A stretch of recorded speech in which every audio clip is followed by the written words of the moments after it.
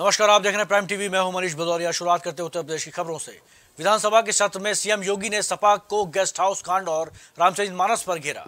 जवाब में अखिलेश यादव ने कहा कि गेस्ट हाउस कांड और रामचरित मानस विवाद खत्म हो गया है, उसी पर क्या चर्चा करना? साथ ही बोले कि बात रही रामचरित मानस पर तो जो सत्य है, वह सत्य है। रामचरित मानस का हम आदर करते हैं, लेकिन जो बात गलत है अगर उसको सोने पर भी लिख कर दिया जाए तो मैं उसको नहीं मानूँगा। अखिलेश यादव यही नहीं रुके। उन्होंने महिला अपराध पर योगी सरकार को घेरा। अखिलेश यादव बोले, हमारा आंकड़ा मत मानिए। आप एनसीआरबी का आंकड़ा मानिए। महिला अपराध में यूपी सबसे ऊपर है। की घटना भूल जाएँगे। माँ बेटी ज़िंदा जला दिए गए। प्रशासन के सामने प्रशासन ने जला दिए। उसका, उनका बेटा जब न्याय मांगने उससे पहले गया, उसे नंगा कर दिया सर्दी में। ये है लॉ एंड ऑर्डर ये ज़ीरो टॉलरेंस है। इसलिए सरकार के पास कोई जवाब नहीं है। सरकार इधर उधर जानबूझ करके बातें करना चाहती है। मसले खत्म हो चुके हैं। उनको जानकारी नहीं है। उनको जानकारी नहीं है। कमाल तो इसी बात का है ना कि मुख्यमंत्री को जानकारी नहीं है। जो गेस्ट हाउस केस खत्म हो चुका, सुप्रीम कोर्ट ने खत्म कर दिया, उस पर चर्चा कर रहे हैं। और जहाँ तक रामचरितमानस की बात है, रामचरितमानस के खिलाफ कोई नहीं है, लेकिन कुछ चीज़ों के लेकर के न केवल आज आपत्ति उठी है, पाँच हज़ार साल की लड़ाई है, पाँच हज़ार साल की लड़ाई है। ये लड़ाई कोई एक दिन की नहीं है। इस बात को सरकार भी जानती है और पूरा समाज जानता है। जो गलत है वो गलत है। सोने की तख्ती पे भी अगर लिख करके दोगे आप कि शूद्र ये हैं, शूद्र ये नहीं हैं तो मैं उसको कानपुर में एमएसएमई विकास कार्यालय के वेंडर विकास कार्यक्रम और एमएसएमई एक्सपो 2023 कार्यक्रम का आयोजन किया गया। इस प्रदर्शनी में भारत सरकार ने एमएसएमई विभाग के राज्य मंत्री भानु प्रताप वर्मा मुख्य अतिथि के रूप में शामिल हुए। कार्यक्रम में केंद्रीय मंत्री ने बैंक और एमएसएमई के अधिकारियों के साथ बैठक की। इस दौरान उन्होंने मीडिया से बात करते हुए कहा कि भारतीय जनता पार्टी समय के हिसाब से काम कर रही है। जाति जनगणना पर बयान देते हुए उन्होंने कहा कि इस विषय पर देश के प्रधानमंत्री से कोई भी बात नहीं हुई है, जबकि देश को एक सूत्र में बांधने के लिए जाति जनगणना बेहद ज़रूरी है। डिप्टी सीएम केशव प्रसाद मौर्य के पक्ष में केंद्रीय मंत्री ने अपनी बात रखी। इसके लिए प्रधानमंत्री नरेंद्र भाई मोदी जी ने अपने मंत्रिपरिषद में जो दायित्व दिया है एमएसएमई मंत्रालय का, एक राज्य मंत्री के रूप में मेरा प्रयास रहता है कि ज़्यादा से ज़्यादा हमारे एमएसएमई मंत्रालय की जो भी योजनाएँ हैं, उन योजना का लाभ ज़्यादा से ज़्यादा हमारे देश के लोगों को उसका प्राप्त हो और उसी के तहत हम लोग काम कर रहे हैं। आज एमएसएमई मंत्रालय के द्वारा आज वेंडर विकास कार्यक्रम आज यहाँ हो जा रहा है। उसमें बैंक भी आई हैं पी भी आए हैं, अन्य लोग आए हैं, जिनके वहाँ और यहाँ स्टॉल भी लगे हुए हैं। सबने अपने अलग अलग स्टॉल लगाए हैं। आज उसी के उद्घाटन के साथ। राज्यसभा सांसद सकलदीप राजभर बीजेपी दफ्तर अंबेडकर नगर पहुँचे, जहाँ इस दौरान उन्होंने संवाददाता ने राज्यसभा सांसद सकलदीप राजभर से खास बातचीत की है। हमारे साथ बातचीत करने के लिए राज्यसभा सांसद सकलदीप राजभर जी मौजूद हैं, जो आम बजट पेश हुआ है। हम इसके बारे में इनसे जानकारी चाहेंगे। आपका प्राइम टीवी पर बहुत बहुत स्वागत है। ये बताइए कि जो जो बजट पेश हुआ है पैंतालीस दशमलव ज़ीरो तीन का ये आने वाले दिनों में नव युवकों को और बेरोजगारों को और बेसहारों और गरीबों, मजलूमों को किस तरीके से इस योजनाओं का लाभ मिलेगा और फ़ायदा मिलेगा? आज सभी लोग जानते हैं कि बजट आज दस दिन, बारह दिन पहले पेश हुआ था। बजट के बारे में हमारे दुनिया में सभी लोग जानते हैं, सभी लोग पढ़े लिखे हैं। हमारी पार्टी या चाहे हमारे प्रधानमंत्री, चाहे हमारे वित्त मंत्री, ये सभी लोग, हम लोग का एक लक्ष्य है कि गरीबों, जितने भी गाँव गरीब, किसान, मजदूर, जो भी मजलूम हो, उनको, यानी पार्टी का एक लक्ष्य है।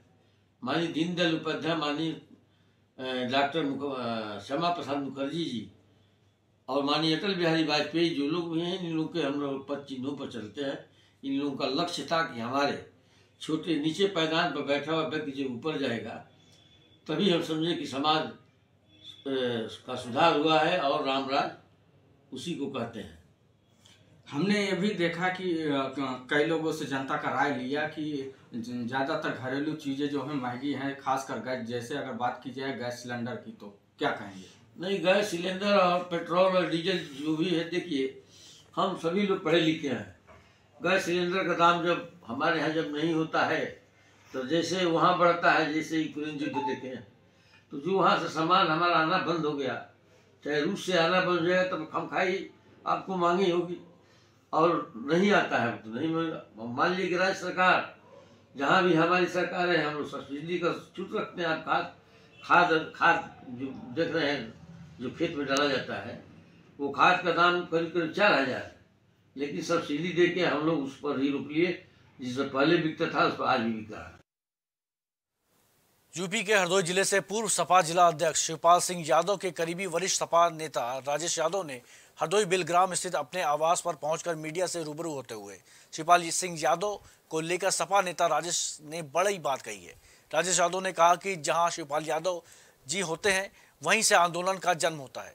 वहीं विधानसभा के बाद सपा विधायकों के आंदोलन के दौरान पत्रकारों के साथ सरकार ने अभद्रता व्यवहार कर सपा नेता राजेश यादव ने घोर निंदा की और जमकर योगी सरकार पर तंज कसा। शिवपाल सिंह ने अपने विधायकों के साथ धरना दिया और ये सरकार पूरी तरीके से नतमस्तक हो गई। लेकिन मैं इस सरकार के उस कृत्य की निंदा करता हूँ कि बेचारे जो निहत्ते पत्रकार थे उन पर बर्बरतापूर्वक उनको परेशान किया गया, उनको पिटाई की गई। क्योंकि पत्रकारिता का अपना अलग महत्व होता है वो सही का सही, गलत का गलत करते हैं। शिवपाल सिंह यादव जी जहाँ होते हैं, आंदोलन का जन्म वहीं से होता है। अब जब उनको गिराया गया, परेशान किया गया और धमकी दी गई तो शिवपाल सिंह का तीसरा नेत्र खुल गया है। अब ये आंदोलन तब तक चलेगा जब तक ये सरकार गिर नहीं जाती और उत्तर प्रदेश की सीमाओं से लोकसभा का रास्ता भी खुलेगा। आगामी लोकसभा में समाजवादी पार्टी अपने मुकाम पे पहुंचेगी। डिप्टी सीएम जी के इस बयान को मैं ऐसे देखता हूँ कि उन्होंने ये कह दिया या कहलाया गया मुझे नहीं पता। लेकिन अभी इस पर प्रतिक्रिया देना मैं अपना उचित नहीं हूँ अमरोहा में भारतीय जनता पार्टी के जिला कार्यालय पर केंद्रीय राज्य मंत्री बीएल वर्मा पहुँचे, जहाँ पर उन्होंने बजट को लेकर प्रेस वार्ता की। इस दौरान उन्होंने अखिलेश यादव पर निशाना साधा। उन्होंने कहा कि अखिलेश यादव खुद दिशाविहीन हो गए हैं। जब से उनकी सरकार गई है, तब से वह दिशाविहीन है। इसके अलावा उन्होंने उनकी पार्टी को समाजवादी नहीं, बल्कि परिवारवादी बताया। जब से 2017 से अखिलेश यादव चुनाव हारे हैं तो स्वयं दिशाहीन हो गए हैं और दिशाहीन व्यक्ति को कभी दिशा में चलते लोग दिखाई नहीं पड़ते हैं, लेकिन इस देश की जनता जो 140 करोड़ है, वो देख रही है, ये बजट देश के लिए है, देश की जनता के लिए है, जनता के हित के लिए है, जनता स्वीकार करती है। प्रयागराज में दिन दहाड़े पूर्व विधायक राजू पाल हत्याकांड के मुख्य गवाह उमेश पाल और सिपाही की हत्या से हड़कम मच गया है। इस मुद्दे पर हांडिया के पत्रकारों से बातचीत करते हुए भारतीय जनता पार्टी के अल्पसंख्यक मोर्चा काशी क्षेत्र के मंत्री ने कहा कि अपराधी कोई भी हो, उसे सजा मिलनी चाहिए। फैजुल अब्बास ने कहा कि अपराधी की कोई जाति नहीं होती।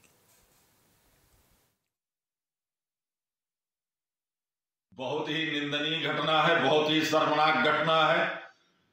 और ये जितना भी इसका इसकी निंदा की जाए, उतना कम है, क्योंकि गवाह एक ऐसा व्यक्ति होता है जो कि किसी को न्याय दिलाने के लिए वो अदालत में खड़ा होकर के और गवाही दे करके वो न्याय दिलाता है। और गवाहों की हत्या होना ये बहुत ही निंदनीय घटना है। इस पे हम सभी लोग और हम अपने संगठन की ओर से और हमारे तमाम मोर्चे के लोग बैठे हुए हम लोग खेत प्रकट करते हैं, दुख ज़ाहिर करते हैं। खबर अमरोहा से, जहाँ जिलाधिकारी बालकृष्ण त्रिपाठी और एसपी आदित्य लगई ने जागरूकता वाहनों को हरी झंडी दिखाकर रवाना किया है। वाहनों को कलेक्ट्रेट से रवाना किया गया। इसके माध्यम से जनपद के हर ब्लॉक में पहुंचकर लोगों को योजनाओं की जानकारी दी जाएगी।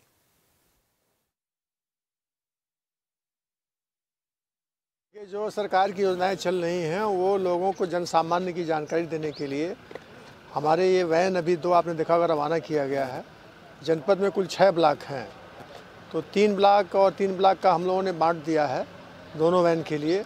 और अभी ग्लोबल इन्वेस्टर समिट हुआ था, बहुत बढ़िया कार्यक्रम हुआ था। और जो भी हमारी योजनाएँ चल रही हैं, सभी का इसमें डिस्क्रिप्शन है और एक एल ई टी के माध्यम से उसको लोगों को जन सामान्य को दिखाया जा रहा है, जिससे कि उन योजनाओं का लाभ ले सकें। केंद्रीय विद्यालय की ऑनलाइन शिक्षक भर्ती परीक्षा में हैंकी के माध्यम से पेपर सॉल्व करने वाले गिरोह का एसटीएफ ने भंडाफोड़ किया है। हरियाणा के पलवल से गिरोह के सरगना के साथ ही वाराणसी और प्रयागराज से आरोपियों को गिरफ़्तार किया गया। आरोपियों के पास से कई लैपटॉप, सीपीयू, मोबाइल, तीन इंटरनेट राउटर, एक प्रिंटर और पाँच एडमिट कार्ड बरामद किए गए हैं। गिरफ्त में आए आरोपियों से पूछताछ के साथ ही उनके पास से बरामद इलेक्ट्रॉनिक डिवाइस से फॉरेंसिक एक्सपर्ट ने सहयोग से डाटा रिकवर किया जा रहा है। यूपी एसटीएफ को सूचना मिली थी कि केंद्रीय विद्यालय संगठन की शिक्षा भर्ती परीक्षा में हैकिंग के माध्यम से पेपर सॉल्व कराया जा रहा है। कानपुर में शासन से लेकर कोर्ट तक विकास प्राधिकरण को सरकारी ज़मीन पर अधिकार दे दे रखा है। इसके बावजूद इस पर भू माफिया दावा ठोक रहे हैं। केडी अफसरों का कहना है कि 6 सितंबर 1968 को जारी शासनादेश के अनुसार जमींदारी अधिनियम की धारा 117 के तहत खंड एक से छह की ज़मीन नगर महापालिका के नाम दर्ज है। वो अब एकेडी केडीए में निहित हो जाएगी। शासनादेश में पाँच दुकानों की ज़मीन पर उल्लेख तो है। एकेडी नियोजन एवं विकास अधिनियम 1973 के धारा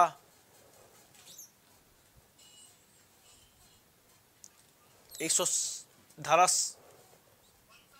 उनसठ छः गा के तहत कानपुर अप्रूवमेंट, ट्रस्ट की चल एवं अचल संपत्तियों में कानपुर विकास प्राधिकरण में होने के कारण उनका स्वामित्व कानपुर विकास प्राधिकरण में समाहित हो गया है। ये फ्रंट सेटबैक में इंक्रोचमेंट करके पाँच दुकानों का अवैध रूप से निर्माण किया गया था।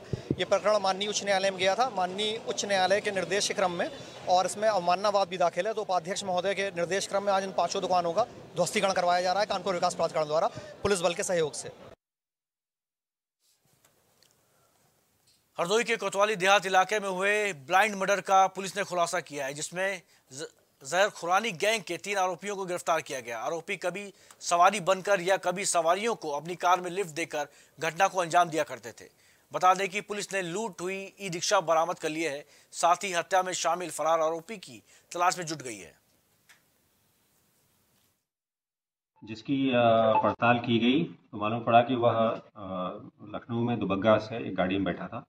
उस गाड़ी की सीसीटीवी फुटेज से पहचान की गई और जनरली पुलिस द्वारा खोजते खोजते गाड़ी मिल गई और उसके साथ उसमें जो एक व्यक्ति जो शहर के रहने वाला है, राम निवास वो मिल गया। पूछताछ में उसने स्वीकार किया कि वो एक जहर खुरान गैंग का सदस्य है।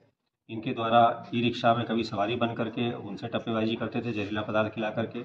इसी तरह से इस वैगन आर में भी सवारियाँ बैठा करके उनको बेहोश करके भी इनके द्वारा टप्पेबाजी की जाती थी और चोरी की जाती थी। ये व्यक्ति जो मृत पाया गया था चूँकि इसको ज़्यादा पावर की दवा दी गई इसको होश नहीं आने पर इनके द्वारा उसको डर के मारे ईंट से पर, मार मार दिया गया था जो कि थाना क्षेत्र में मिला था।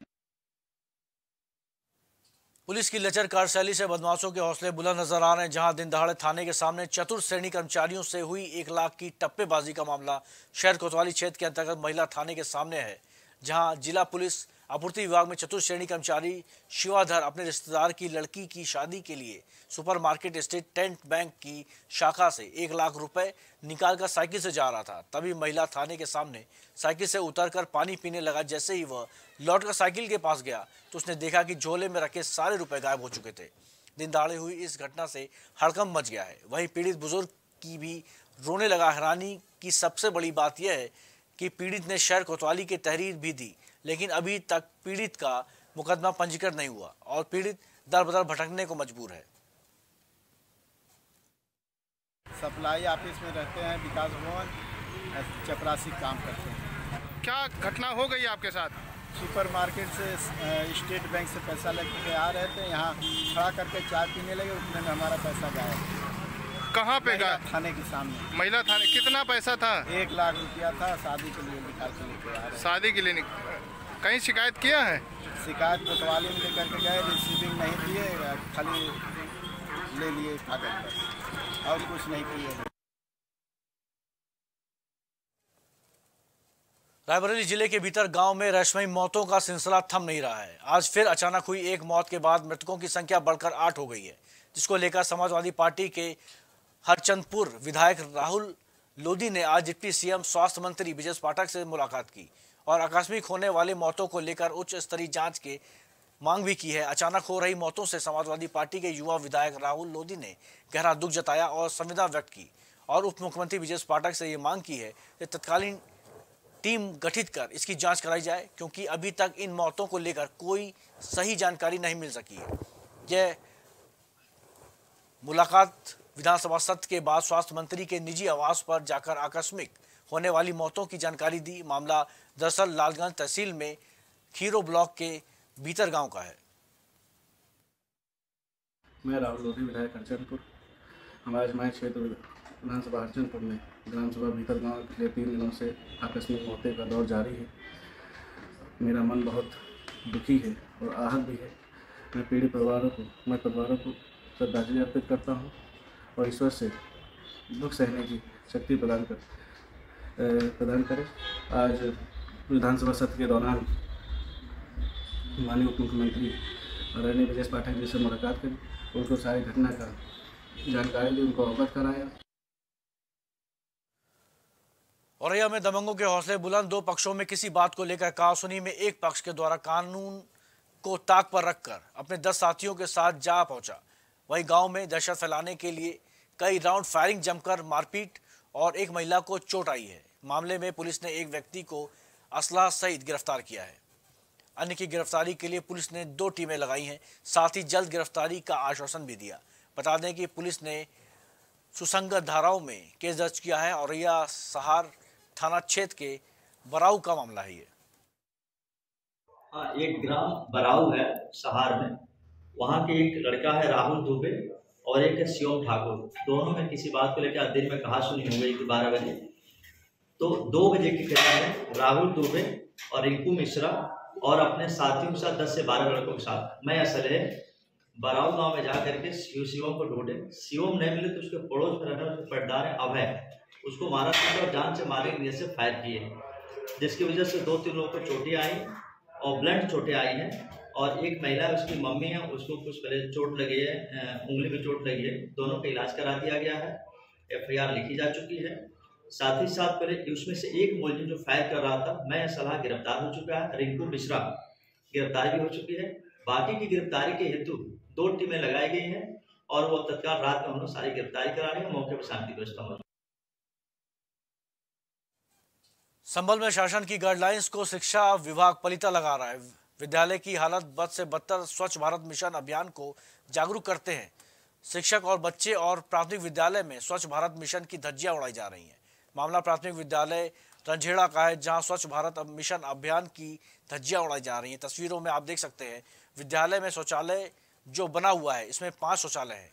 किसी में भी अटैक नहीं है, जिसमें गंदगी सारी बाहर निकल रही है। ये शौचालय आप जाते हैं इसमें कब से टूटा हुआ है कब से खराब पड़ा है ये? बहुत दिनों से। बहुत दिनों से खराब पड़ा है? आपका खाना पीना सब बढ़िया मिलता है आपको स्कूल स्कूल का क्या नाम है?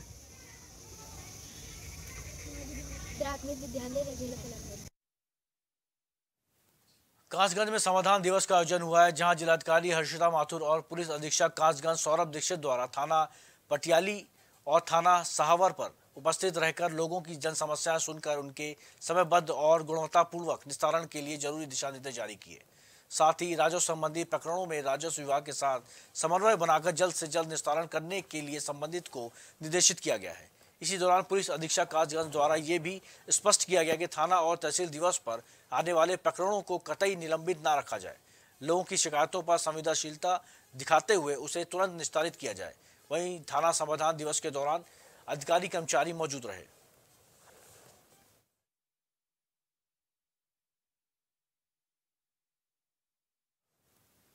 कुशीनगर की तहसील के कानूनगो पद पर तैनात देवचंद प्रसाद का रिश्वत लेते वीडियो वायरल हो रहा है। वायरल वीडियो में वो किसान से ज़मीन नापने के एवज में रिश्वत लेने की मांग कर रहे हैं। पूरा वीडियो कुशीनगर जनपद के तमकुही तहसील का बताया जा रहा है। हालाँकि इस वायरल वीडियो की प्राइम टीवी पुष्टि नहीं करता।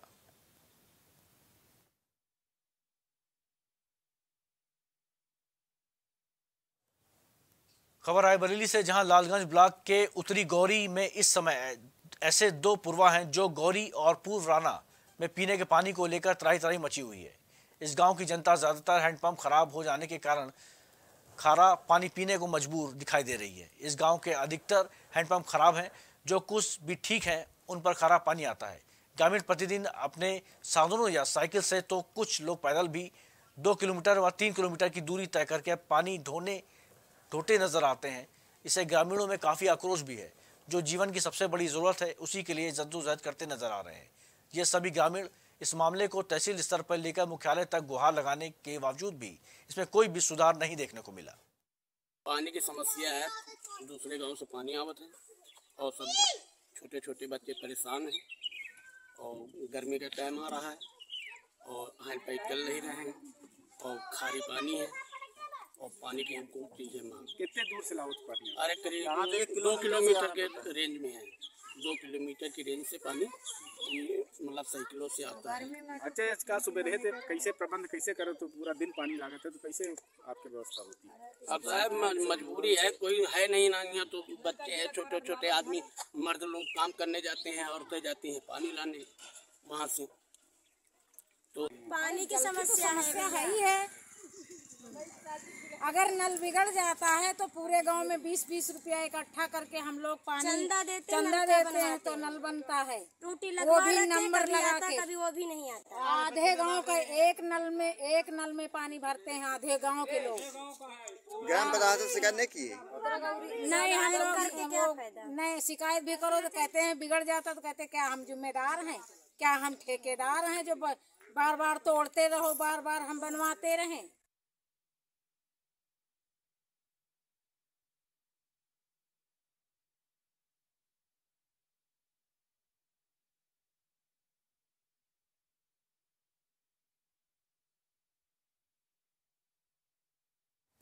बस्ती में तालाब के अतिक्रमण पर प्रशासन का बुलडोजर गर्जा है। विकासखंड बनकटी के ग्राम बेंदुखोर उर्फ़ ततु अखोरा में शनिवार को तालाब की भूमि पर सीमांकन कर सरकारी कब्जे में लिया गया था। उप जिलाधिकारी शैलेंद्र दुबे के निर्देश पर नायब तहसीलदार की टीम ने सरकारी भूमि कब्जे में ले ली।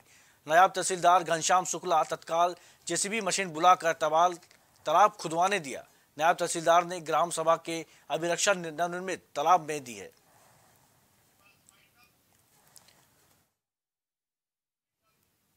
फ़िलहाल उत्तर प्रदेश की खबरों बस इतना ही। देश प्रदेश की ताज़ा तरीन खबरों के लिए देखते रहिए प्राइम टीवी नमस्कार।